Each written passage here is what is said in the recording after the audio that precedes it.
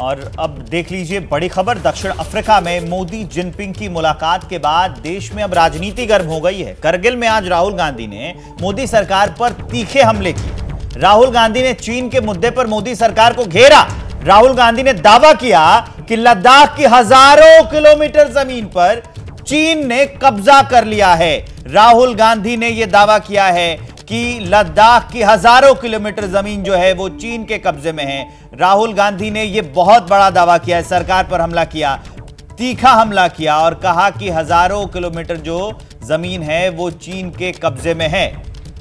बिल्कुल, और आपको बताएँ कि यहाँ जब दोनों प्रधानमंत्रियों की बात की बात करें तो एलएसी को लेकर ही चर्चा हुई है। और इसी बीच आज ये बड़ी तस्वीर और ये बड़ी बात निकल करके सामने आई है लद्दाख से।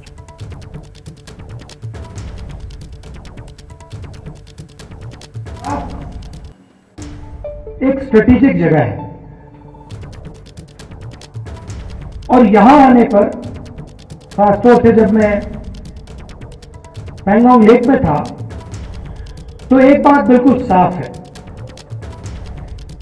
कि चाइना ने हिंदुस्तान की ज़मीन ली है। हज़ारों किलोमीटर ज़मीन हिंदुस्तान की चाइना ने हमसे छीनी है। और दुख की बात है कि हिंदुस्तान के प्रधानमंत्री ने ऑपोजिशन की मीटिंग में कहा कि हिंदुस्तान का एक इंच किसी ने नहीं लिया है। यह सरासर झूठ है। लद्दाख लद्दाख का हर व्यक्ति इस बात को जानता है कि लद्दाख की ज़मीन चाइना ने हिंदुस्तान से ली है और प्रधानमंत्री जी सच नहीं बोल रहे। पत्रकारिता कोई इमोशन नहीं है। ना अपना कोई ज्ञान देना है और ना कोई विचार थोपना है। पत्रकारिता क्या है?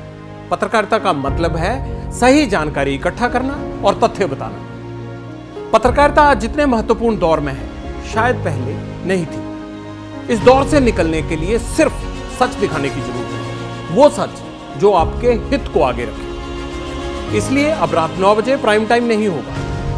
ये आपका टाइम जगविंदर पटियाल के साथ देखिए पब्लिक इंटरेस्ट सोमवार से शुक्रवार रात नौ बजे सिर्फ़ एबीपी न्यूज़ पर। एबीपी न्यूज़ आपको रखे आगे।